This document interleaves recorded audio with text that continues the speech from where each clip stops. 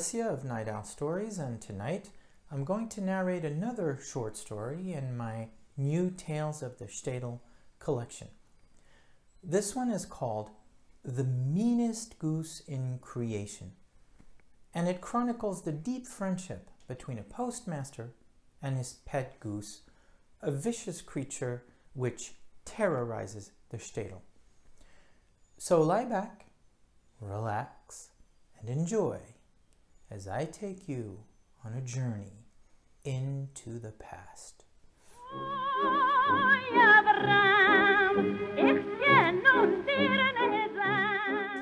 After his father's premature death, Teive inherited the family farm, which in truth was no farm at all, since Jews were not allowed to be farmers, strictly speaking. Instead, like its owners, it had a multitude of purposes, serving mainly as a Jewish house, a mix of trading post, post office, and general store. It had an orchard in back and a few discreet plots to grow hardy things like potatoes and cabbage. It was a crumbling building with a thatch roof, and business was anemic especially as the railroads and factories in Minsk were expanding. As an investment, Teive acquired a goose. This goose, he was told, would lay a great many eggs for years to come and be a stellar breeder if the eggs were left to hatch. Unlike his wife, Teive was not much of a haggler and paid quite a bit more for the goose than she would have. I hope that animal was worth the premium, she said, all the more acidly as money was tight. Teive's goose was everything the seller had promised, except for a few quirks that took on a life of their own. While most geese are ornery, this one was vicious like no other and attacked every animal and person in sight. No need for a guard dog with such a goose on hand. Teive's children were afraid of it. Teive's wife gave it a wide berth, and any store customer made sure the infamous goose was not on the loose. Requests for deliveries increased, and walk ins grew scarce. Teive's wife argued that the goose lost them more business than it made them. The argument simmered for years, but it always ended up in the same way, with Teive dismissing his wife's concerns. You're being shrill, he would say, and it doesn't suit you. What happened to the lovely, accommodating girl I married? Hmm? This drove her mad, and she had to storm off rather than scream. Teive's stubbornness was not completely unreasonable. His experience with the goose was quite different from anyone else's.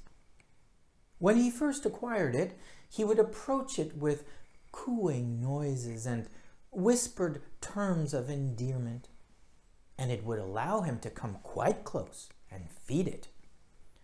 In time, it went so far as to rub its beak against his forearm after being fed.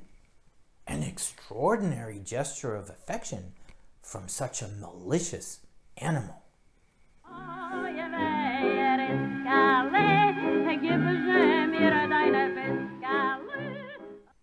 Teive named his goose Shneyvays for the immaculate color of its feathers, and together they would stand by the store's crumbling stairs and look up for minutes on end at the passing clouds. Shneyvays would sway with the melodious flow of Teive's nattering and resonate with his moods, honking when he seemed agitated. You understand me better than anyone, he'd say. And under his loving ministrations, The goose laid hundreds of eggs and produced many valuable offspring that brought in vital income for Teive's family. Probably enough to offset the drop in custom, but not enough to assuage Teive's wife. No one besides Teive liked the goose, and the hostility was mutual. In fact, it took all the blind power of rutting for the gander to overcome its terror and mount the fearsome thing. Teive didn't care. He loved his white feathered friend, his winged companion. Inevitably, Shneyvays reached the end of its years as a breeder. Teive's wife knew how much he cared about the vicious goose, and she gave him more than enough time to get used to what must happen next. When he refused to even bring up the matter, she did. It's time for the goose to serve its last purpose, she said. We've been feeding it with nothing in return. Now it must feed us. How can you say that? Teive cried with unexpected vehemence. When she has served us so faithfully. I wish people took after Shneyvays. There would be more loyalty in the world. And more wars, the wife thought to herself. Calm yourself, my husband. I'm only speaking reasonably, as anyone would. You have always hated Shneyvays, Teive remarked. Well, if you don't trust me, then ask your friends, she spat, her patience at an end. And don't expect a hot meal tonight.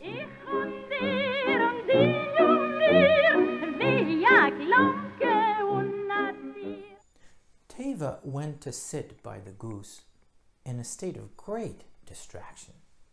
I went too far, he said dolefully, his legs shaking, his arms flailing about. Why should I be ashamed of the bond you and I have? He turned to Shneyvays and looked it in the eye. What sort of man doesn't love his pet? The goose shuddered and shook its head in apparent agreement. Not to mention how unfair this all is, he added. We've conquered all there is to conquer, leaving no place for other creatures. If it were not for people, you'd be flying free and happy towards warmer climes.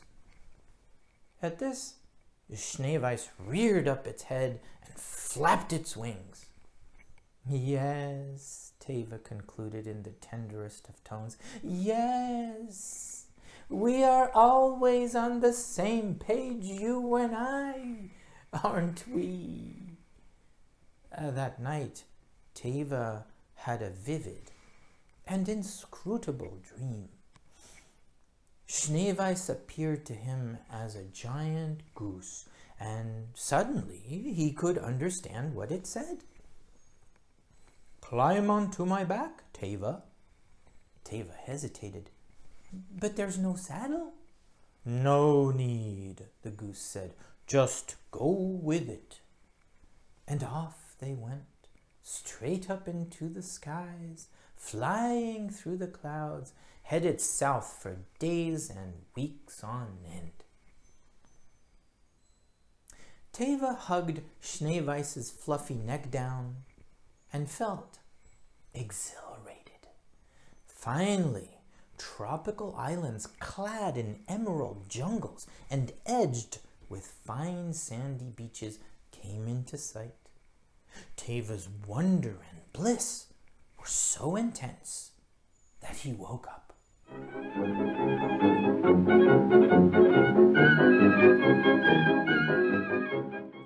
That day, he took his wife's sarcastic advice and asked three of his friends to come and advise him about the matter of his goose. The first was Chatzkel, the butcher, a practical man renowned for his common sense.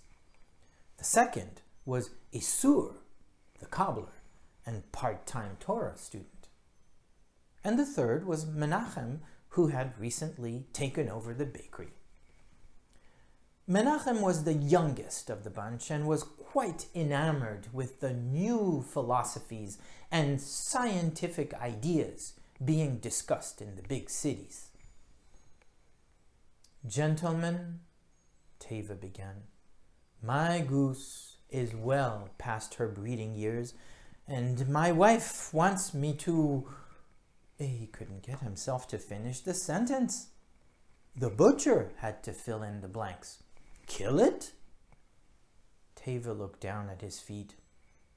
Yes, but I just can't do it. I think of Shneyvays as a pet, a friend even. Who kills a friend for meat? Am I being unreasonable? As always, there's at least two sides to every story, Isur said. Mm, this was going to be a long-winded affair, and Teive decided to make tea for everyone and bring it out so that they could drink it as they sat and discoursed on the porch steps. It was a warm day, and the few clouds that hung motionless in the sky reminded Teive of his dream. Before Isur resumed, the goose came around the corner of the house and stared at the assembled men, causing even Chatzkel to recoil in fear. That's uncanny, he grumbled. Perhaps we should be careful what we say. Now you're being silly, Menachem commented, implying he didn't think much of Teive's quandary. Isur cleared his throat. well, uh, one might say this is a test of your willingness, Teive. Your wife is acting on Hashem's behalf and asking you to sacrifice something you hold dear for the good of your family. Think of Abraham when he was asked to sacrifice Isaac. Surely you are not above our forefather. Teva had no retort for such a powerful point. On the other hand, Isur continued, I'm reminded of the prophet Nathan's diatribe against the adulterous David. Does it not say in Samuel 12, But the poor man had nothing, save one little ewe lamb, which he had bought and nourished up, and it grew up together with him, and with his children? It did eat of his own meat, and drank of his own cup, and lay in his bosom, and was unto him as a daughter. Is this not the case with you? Teive felt like crying. Isur, it is as if you had penetrated my innermost soul. I am that poor man, and Shneyvays is that lamb, and my daughter. Thus you could argue with your wife, Isur concluded. If you want to seem slippery to her, Menachem interjected, ignoring Isur's glare. And a pompous fool, besides. Teive was crestfallen. I thought you would side with me, Menachem. And.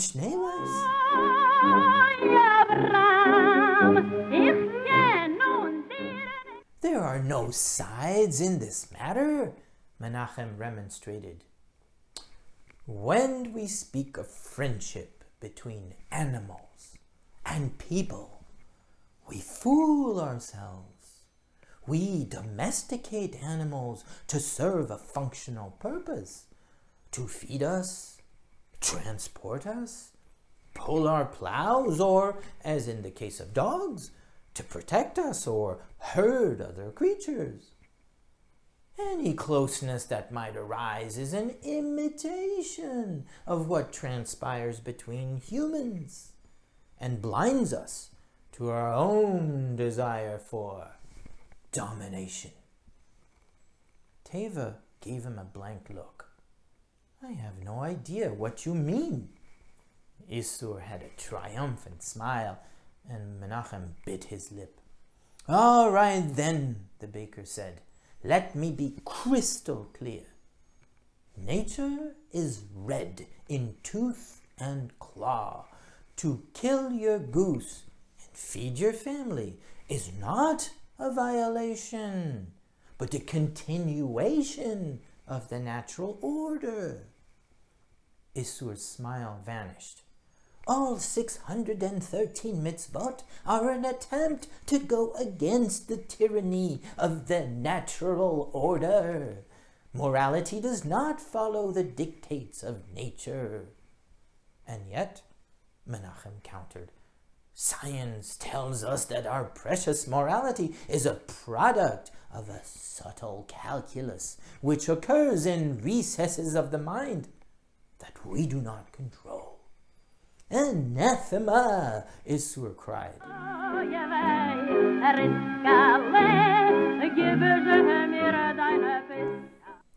Chatzkel calmed the antagonists, assuring them that this was not helping their friend one bit. The goose swayed in apparent enjoyment of the debate. Teive put his head in his hands.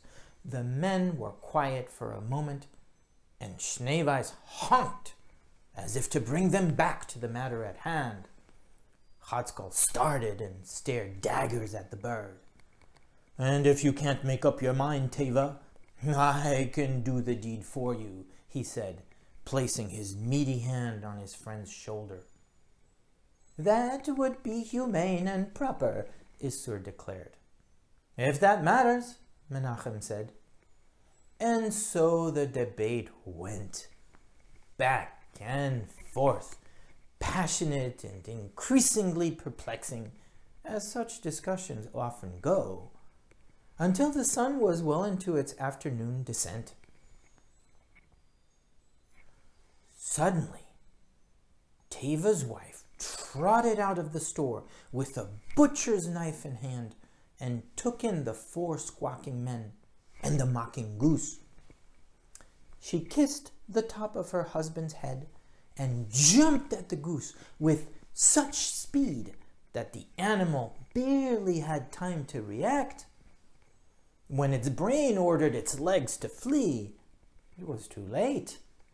Its head had been severed, and the wife was already draining it of its blood. The four friends gaped at the fierce wife, three of them in secret admiration. That afternoon, Teive's children gleefully plucked the goose, even though it's hard and nasty work. And the next night, a delicious, meat-enhanced cholent was served to Teive's family. Herschel had already come to claim the goose's feathers, and all its edible parts had been prepared. The goose served us to the last, Teive's wife said, and for that we are grateful. And now people won't be scared to come see us any more, Teive's son muttered. And with that, the passing of Shneyvays was summarily consecrated as for Teive, he could not get himself to eat the cholent and never had a piece of flesh again.